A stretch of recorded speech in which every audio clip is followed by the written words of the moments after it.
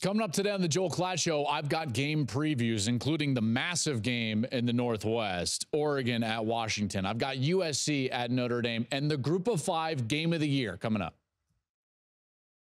College football has never been better. Interest has never been higher. Believe that we are at the dawn of the golden age of college football. It was an epic day of college football. It was one of those days where you fall in love with the sport all over again.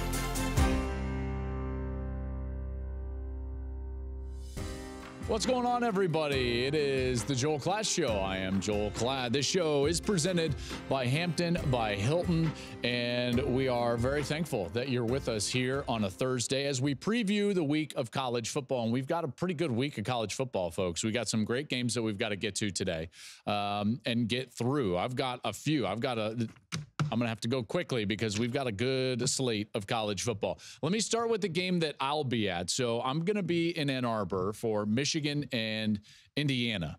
And Michigan's favored by 33 and a half. Listen, Michigan's one of the best teams in the country. Indiana has struggled.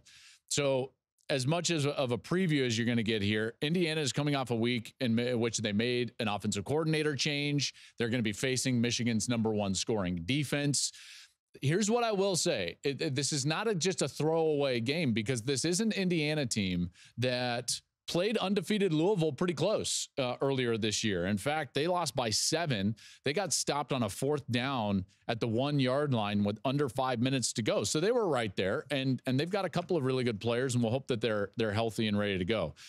But the game is more about Michigan. If Michigan plays well, you would expect that they would win the game. The thing that I'm most interested to see or or to experience with Michigan is first I want to see the chemistry and and more importantly feel the chemistry of this team. Because here's what's great about my job is when I get to go out to all of these different programs and I get to go into these facilities and I get to talk with coaches and talk with players I get a sense of what the chemistry is like are the is the coaching staff getting along with one another? Are the players getting along with one another? Like what what does it feel like in the building? That's a big deal at least to me. So this is going to be my first time at michigan this year and it's the first time that i'm going to get to feel that culture and that chemistry. The last two years it's been outstanding. It's been one of the the the unsung the untalked about I think nuances with the success that Michigan has is the chemistry, what they had, what they built after the COVID year. And so now to walk in there, I'm excited to kind of see it and feel it in, in this version. And then the other part of this is the, on the field is the depth. When I walk around in warmups and when I see a team and cover a team and I do all their charts and I see the two deep and how dominant they can be, I get a good sense of how deep they're going to be. And this is one of the deepest teams, at least as I begin my study throughout the course of the week and I'm and I'm getting prepared for this game. This is one of the deepest teams that I've prepared for in a long time. So I want to see that for my own eyes. And then the last thing is the size up front. This team is one of the best teams in the country at the line of scrimmage, and they need to be. That's their style, that's their MO. And in particular on the defensive side, this defensive front and, and, and more specifically, their defensive tackles look massive. They're all 300 pounds plus and they do a great job of stopping the run. They do a great job of, of being disrupt, uh, disruptive, and as they call it, like destroying blocks you know, getting through blocks and and not allowing the opposition to sustain blocks. So as much as I could talk about JJ McCarthy, as much as I could talk about the offense and and Roman Wilson on the outside and Blake Corum as the running back and the deep uh, offensive line, those other areas are where I'm actually more interested to get around this team and actually see them uh, firsthand. By the way, the boa constrictor reference, it's something that we came up with right here on the Joel Klatt show. I think it's still accurate for obvious reasons, and now other people are using it as well. So, Coach Fleck, thanks for uh, listening to the show. Let's move on. Oregon at Washington. What a game this is going to be in the Northwest. Like, this is going to be an unbelievable game and environment. I can't wait for it. I can't wait. They're both top 10 for the first time in this matchup's history it goes all the way back turn of the century, not even this century, the last century, 1900, 115th meeting. These two offenses are as good as anybody's playing in college football, you know? And obviously with Washington, it, it relies heavily on throwing the ball and those guys on the outside, and they're going to get more healthy on the outside. So Michael Penix is going to get another one of his wide receivers back. Jalen McMillan will be back for Washington to pair up with Rome Odunze out wide. Uh, Millen is great. Polk is really good as well. These guys present so many problems for the opposition they are great in one on one coverage. They can create space and win.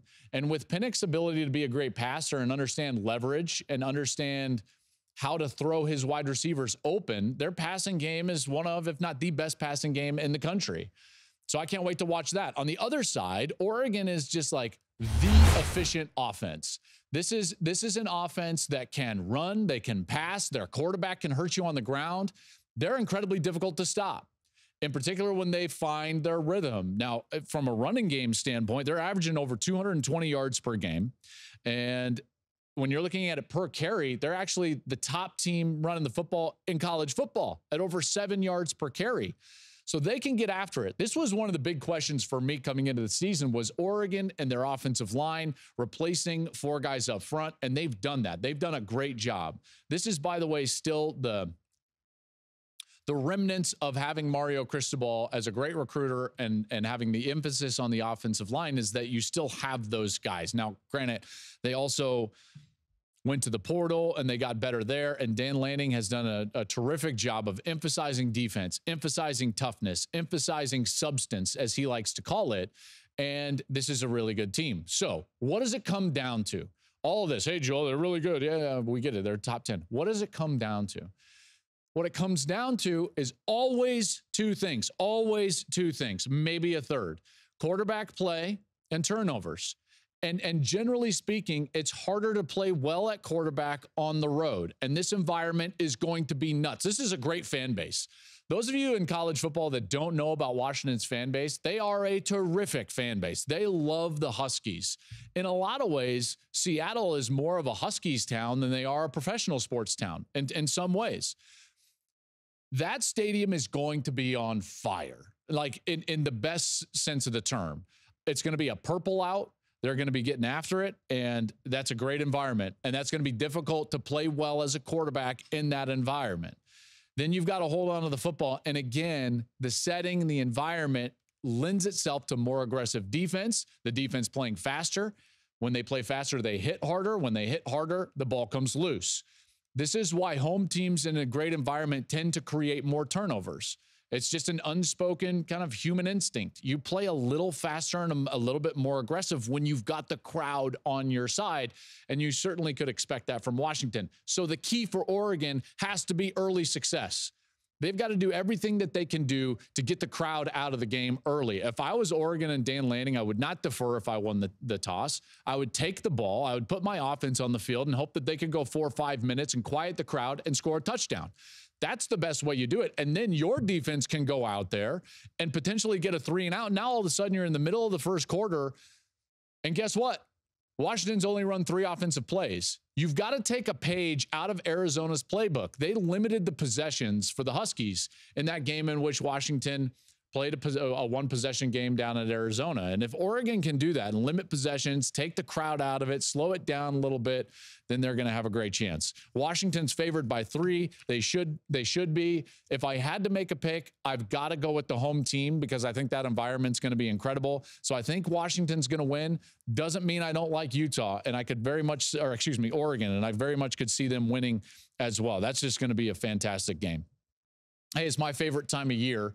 It is football season. And as you know, I take it seriously. So when I'm traveling on the road to watch my favorite teams, I cannot risk calling the wrong play with where I stay. Wherever I go, I know that I can count on Hampton by Hilton. I can depend on their comfortable rooms and their warm, friendly service. And their free hot breakfast, as you know, is an absolute game changer. So whether you're cheering on your team from the stands or never leaving the tailgate, Hampton by Hilton will always give you that win. Next up, USC at Notre Dame. Now, Notre Dame's favored in this game, even coming off of a loss. And this is the Brady Quinn Matt Leinart Bowl. We're going to send big noon kickoff to Notre Dame Stadium. So, if you're a Notre Dame student or fan, get out there and support my guys. They're not coming with us to Michigan, Indiana. They're going to be at this game, USC and Notre Dame.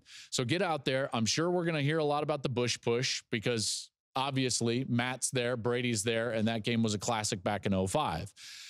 Now, when you get to this game, though, this is concluding the, the brutal stretch for Notre Dame.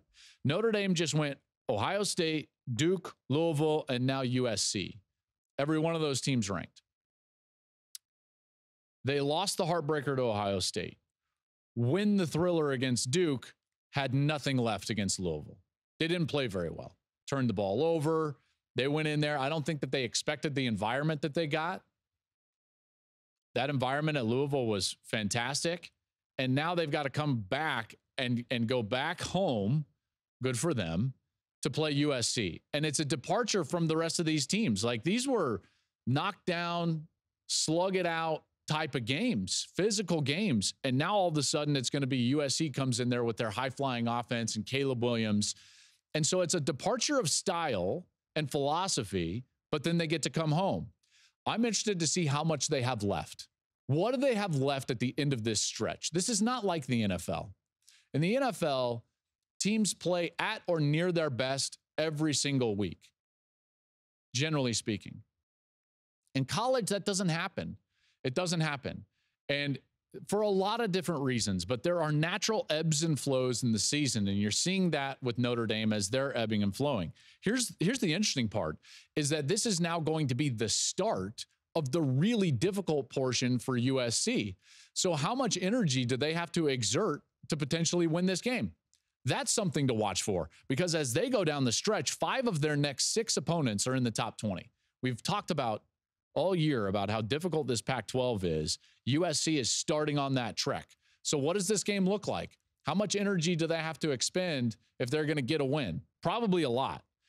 How long at this point in the season, and this is what's happened now over the last three weeks, how long can Caleb Williams drag the Trojans along for the season? Caleb Williams is playing unbelievable football. Now, to be fair, he he wasn't great for the entirety of of the Arizona game, but he can elevate himself to a place where he takes that offense above the X's and O's. I was shocked Arizona kicked the extra point in the first overtime because you're just giving him more time. The more time that number 13 has, the more time that he's going to have to beat you because he's that good. He's got 28 total touchdowns so far this season. That's 11 more than he had at this point a year ago. The guy is playing sensational. Now, on the flip side, when Sam Hartman is on the field with Notre Dame and their offense is on the field with USC's defense, Notre Dame has to control the game on the ground, and they should be able to. USC's run defense has not been very good. They're allowing about five and a half yards per carry on non sack plays. Their rushing defense numbers look better because they get to the quarterback. They've had, what is it, 22 sacks, which is third in the country. That comes off of the rushing yardage. So when you strip that away and you really look at what are they when the ball is handed off and they just have to defend the run, not very good. In fact, on non sack plays, five and a half yards per carry, that's 106th in college football. If I'm Notre Dame, that's where I'm sitting. Estime is getting the ball. That run game, that offensive line is going to eat it up. They're going to eat up the clock. You got to keep Caleb Williams off of the field. You're not giving him an opportunity. You want Caleb Williams to touch the ball at maximum 60 to 65 times. That's the maximum plays that you want to see. They did that against Ohio State, came up one play short. Ohio State, I believe, had 65 plays in that game total. 15 of them were on the last drive. Ohio State had run 15 offensive plays up to that last drive before they went down the field and scored. So Notre Dame's got to put that same game plan into effect against USC. This is their best opportunity to keep Caleb Williams at bay. Williams might have his best attribute back on offense, his best threat, which is Zachariah Branch. He was practicing this week. He missed the last two games with an undisclosed injury, but we don't know. We don't know what his status is going to be. This game is 100% about Notre Dame's run game. If they can control the game on the ground, then they'll win. If they can't, and Hartman has to drop back and throw the ball, then the pass rush gets involved. It's one of the best pass rush rushes in the country, 22 sacks. That's third in the country. then you are also giving your opposition more opportunities. So Caleb Williams is on the field. It's all about the Irish on the ground. If they can run the ball, then they're going to win. And by the way, they need this one. They need this one desperately because they've lost two of these three games, uh, their last three. The one that they won was almost miraculous. They got a fourth and 16. So if they were to lose at home to USC, in particular with the way that USC has looked over the last few weeks, people would not be happy with Marcus Freeman. And you know what? This is a game that they have to win. I think Notre Dame wins this game. There's rain and wind in the forecast that lends itself to Notre Dame, right? You want to slow things down, be methodical, run the ball. That's what they're going to have to do. Uh, okay, let's move on. Another good Pac 12 game. And this one is sneaky good for a lot of reasons. Let's get into it. UCLA and Oregon State. UCLA, way better than people realize. Oregon State, same. Better than people realize. In fact, DJU, DJ Uiagalelei, he's coming off his best game in a game in which he had to play much better. He threw for five total touchdowns last week against Cal, but he had to because the defense gave up 40. They won 52 to 40 against Cal. Maybe a little bit alarming right there because I thought Oregon State's defense would be better than that. This is a team that lost to Washington State. UCLA is a team that really handled Washington State a week ago. The winner of this game is going to be in the best position to really push the teams that have separated themselves at the top of the conference. The winner of this game is a team that has a really good outside shot to get into that Pac 12 championship game. Now, it's going to be much more difficult for Oregon State because the slate in front of UCLA is actually quite manageable. So that's where I want to sit with this one because this game to me is really about UCLA. UCLA has to go on the road, which they already have this year in a hostile environment at Utah. So they won't be unfamiliar with what this feels like. They're not going to be shocked. I always felt as a quarterback, especially a young quarterback, that you would grow your most, develop your most from the first time you did something to the second, whether it's the first game to the second, the first time you're on the road in a big environment to the second. Well, guess what? Dante Moore is a young quarterback, as a true freshman. He was in the pressure cooker at Utah. Didn't play that great. They only scored one touchdown offensively. He threw a pick six. They lose by seven. This is a guy that is learning and developing. He's made some big mistakes. They overcame them last week. He threw a pick six. They still beat Washington State. Why is that? Well, he doesn't have to be perfect. He doesn't have to be perfect because their defense is incredible. I mean, incredible. It's one of the best defenses in the country. They are for real. They lead the nation in yards per play, they lead the Power Five in takeaways. And most importantly, when you're playing Oregon State, this Beavers team, their rushing yards per carry allowed is fantastic. They lead the country. They're great in the red zone. They only allow 33% touchdowns in the red zone. That's sixth best in college football. They can lean on their defense, bring their quarterback along, run the football. If they win, watch out. That's a sleeper team, like I mentioned uh, yesterday in the podcast. That is a sleeper team in the college football playoff race because of what's uh, uh, ahead of them down the stretch. That's going to be a really good game. I like UCLA in that game. Miami, North Carolina, another really good one. This one would have been a lot better if they would have just taken a knee. Obviously, a lot of talk about Miami. That's where I'll start. How do they react from the emotional loss last week? A loss in which it was 100%, not even 98%, not 99, not 99.9, 100% on their coaching staff, which goes right to Mario Cristobal. The coaches lost the game last week. Period. Period. I don't get you can talk about the fumble, you can you have an opportunity to take a knee. That is 100% on the coaches. So, how do they come back from that? I think is a fascinating thought, in particular against a team that is really good and playing really well and efficient. You're on the road if you're Miami and you got to face Drake Maye And Drake Maye is as good as there is in college football. He's coming off a game against Syracuse where he's really feeling it. Had nearly 500 yards of total offense. He's getting Tez Walker back and more in shape. Tez had six catches last week. He's just going to keep getting better. The UNC offense has scored at least 31 points in every single game this season. They're another one of my sleeper teams in this playoff race. And this Miami defense is really good. So there's the matchup. It's a defense that stops the run. They're uh, they're aggressive. They're athletic. That's the matchup. What is Drake Maye going to be able to do against this Miami defense? The overlooked part of last week's game, and and even though I'm saying 100% on Cristobal, was the turnovers. Miami's turnovers hurt them badly. Um, they had what was it? Four fumbles, I believe. Van Dyke threw three interceptions.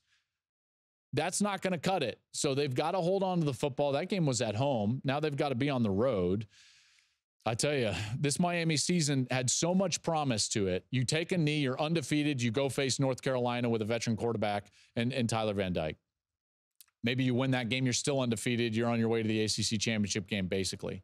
You don't take a knee, you fumble, you let them go 75 yards in like three seconds, and now you've got to go to North Carolina. It could be back to back losses, and the season is like, what happened? And it's like that. It's a blink of an eye. Rain, by the way, is in the forecast for Saturday in Chapel Hill. So we'll see how those quarterbacks react to that. Um, a couple more games that I got to get to because these are very interesting games as it relates to the postseason. Iowa at Wisconsin. Haven't talked a lot about either of these teams, and it's not just going to be about Iowa's, you know, road to whatever it is 325 is that what they need? 325 points on the season to get their hit their deal? They're behind that pace by the way. Uh, their offense is not very good. This is the battle for the heartland trophy. It's going to be on fox. The winner of this game by the way is going to be in great position to win the big ten west. In particular if it's Wisconsin. If Wisconsin wins, every other team in that division will have two conference losses. Wisconsin would still be undefeated in Big Ten play. So this is a big game for Wisconsin. They're hosting Iowa. Iowa is down to their backup quarterback after McNamara tore his ACL. They've got their run game going with Braelon Allen. They've got now half a season under their new head coach and Luke Fickell. Again, you're at home, you're favored by 10 over a team that does not play quality offense. And even though Iowa plays quality defense, this is a game you've got to win if you're Wisconsin. If you're Luke Fickell, this is one of the first times that you can say like, all right, this is a program establishing and building win if you can win this. Cuz in large part, this is going to be the game that we'll look back on and say the West was won that day in Madison. I do love, I really do love Wisconsin and their ability to get better after that loss to Washington State. We haven't talked about them, but this is a team that continues to get better. I like Luke Fickell a lot. I like the fact that they're leaning into their run game. They're leaning into their defense. Their defense has only allowed more than 17 points one time. It was in the loss to Washington State. Iowa's offense is not going to threaten them that much. I like Wisconsin in that. By the way, they're favored by 10, still like Wisconsin in that one. Last game, biggest game in the group of five season. This is it. Winner of this game likely gets the group of five nod into the New Year uh, New Year's Six bowl games. And watch out because Air Force is really good. These are the two highest ranked group of five teams, both just outside of the top 25. Wyoming's 27, Air Force is 28. I think Air Force should be a top 25 team. If we had a 12 team playoff format, by the way, one of these teams would likely be in the playoff, probably the 12th seed, probably having to go to the number five team in the country, which would be like Ohio State or Penn State. Uh, I would pretty much love that. I've always been a fan of both of these programs, having grown up in Denver had a chance to to know a lot of guys that went to Wyoming and played there. A lot of guys that played for my father, who was a high school football coach, went to Wyoming. So I'm partial to that. By the way, I'm basically wearing a Wyoming sweater here. I got the, the brown sweater on. But I'm also incredibly partial to, to Air Force. Let me just tell you a quick story. My first game ever was at Folsom Field with my dad, but the most times I ever got to go to a college football game was always Air Force. And here's the reason Air Force would give high school football coaches free tickets. We didn't have a lot of money. In fact, we were on a one teacher's salary, my dad's salary, and four kids, and you can understand what that was like. So he would get the free tickets to Air Force and he loved to go down there. The reason he loved to go down to Colorado Springs and watch Air Force games was he loved to see the cadet, cadets march in to Falcon Stadium because my dad is a former Marine. He was a first lieutenant in artillery d- division during Vietnam, fought in that war. I'm very proud of my dad. And he loved to just be around the military culture and go down and see it and see the discipline and see them marching in, the Falcon flying over and the flyovers. So even though he wasn't in the Air Force, he loved the military culture of being down there at the academy. So I went to so many Air Force games, which means I'm a huge Air Force fan. Now, I, I, would love it if either of these teams broke through and got that New Year's Six bid, being from that Rocky Mountain region. But boy, this Air Force team feels really good right now. They're one of the best rushing teams in the country, which you would expect. They're also a team that won 10 games a year ago. So this is not out of nowhere. This is a team that is very good. Wyoming, by the way, they're also a good team. They beat Fresno State, they beat Texas Tech, and they were tied with Texas 10 10 in the fourth quarter in Austin. So this is going to be an outstanding matchup. Air Force is averaging 330 rushing yards per game, by far the most in college football, about five and a half per carry. Uh, Wyoming's defense right in the middle of the pack as, as it relates to run defense. It's so difficult to beat the Academy. They're so unique with the style of offense that they use. They're favored by 10 and a half. That's a lot. That is a lot, even though they're at home. I, I I don't love the 10 and a half, but I think the Falcons win. I think Air Force goes on and wins, and that they represent the group of five in the New Year Six. And I just wish it was a 12 team playoff year so that we could have the Air Force Academy in the playoff. Can you imagine a scenario where we had a service academy in the 12 team playoff. I'm here for it. I'm rooting for it. And that's why, by the way, I would say if you win your conference, you should host because you know what I want to see? I don't necessarily care for Air Force at Penn State. I want to see like the eighth or ninth best team or the 10th best team have to go to Falcon Stadium. I want to see a team that squeaks in, doesn't win their conference, like let's say Alabama this year, have to go play Air Force at Air Force. That would be entertaining. That's what the college football fans would like and want. That's at least what I think. That'll do it for today's program. I want you to enjoy the week of college football because we've got some great games. Again, I'll be live in Ann Arbor with Gus and Jenny as we have Michigan and Indiana. Big noon kickoff. The show will be in South Bend as they get you all set for USC and Notre Dame. This show is presented by Hampton by Hilton. Can't thank you enough for partaking wherever you partake. Follow us on social media at Joel Klatt Show. Subscribe, like the show, leave us a review, and we'll see you next Monday.